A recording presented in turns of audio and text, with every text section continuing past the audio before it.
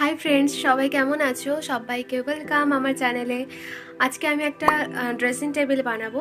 মানে বাড়িতে একটা পুরনো ড্রয়ার ছিল। সেটাকেই কাস্টমাইজ করে আজকে আমি ড্রেসিং টেবিলটা বানাবো। ফেব্রিক্রিল মোল্ডের ক্লে ইউজ করে বানাবো। তো চলো ভিডিওটা পুরোটা দেখো তোমরা। যদি ভিডিওটা ভালো লাগে প্লিজ চ্যানেলটা সাবস্ক্রাইব করে দিও লাইক কমেন্ট শেয়ার করে দিও। চ্যানেলটা সাবস্ক্রাইব যদি করা থেকে আবার বাটনটা ক্লিক করো না, তাহলে আনসাবস্ক্রাইব হয়ে যাবে। কেউ যদি আমার চ্যানেলের ভিডিও নতুন দেখে থাকো আর ভিডিও ভালো লাগে, তাহলে চ্যানেলটাকে সাবস্ক্রাইব করে দিও। তো চলো ভিডিওটা স্টার্ট করি।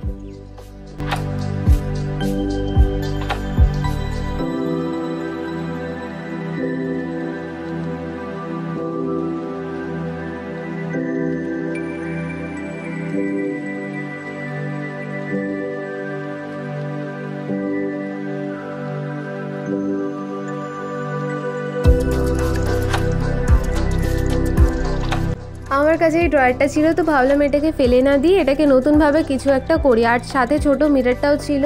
এটাকে আমি ভাবলাম এর ওপরে এইভাবে লাগিয়ে দেবো। তো ফার্স্টে ফেব্রিক্লি মোল্ডেড ক্লেটা ভালো করে মিক্স করে নেব। তারপরে ওই ড্রয়ারটার ওপর থেকে কাগজগুলো খুলে নেব। প্লাস্টিক মতো যেগুলো আছে সেগুলোকে খুলে নেব। তারপরে তোমরা দেখতে থাকো ভিডিওটা কেমন করে করছি।